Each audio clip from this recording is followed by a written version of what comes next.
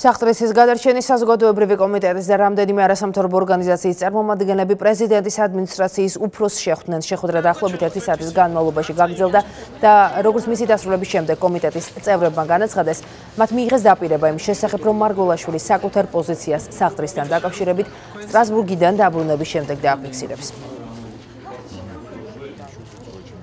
იყო კონკრეტული საუბარი, იყო გადაწყვეტილება პრეზიდენტი ამ სიტუაციასთან დაკავშირებით გააკეთებს თავის განცხადებას და თავის პოზიციას დააფიქსირებს.